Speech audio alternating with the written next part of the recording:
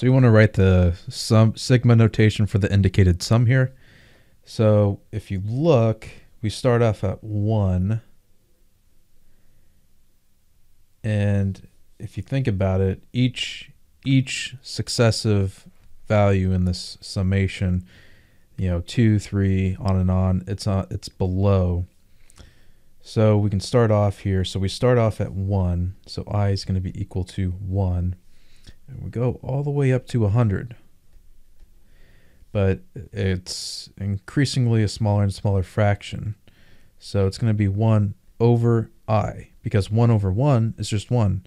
But when we go i equals 2, we get 1 over 2.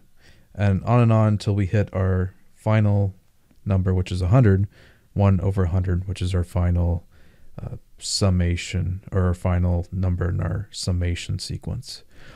All right, I hope this helps you out. Thanks for watching. Have a great day.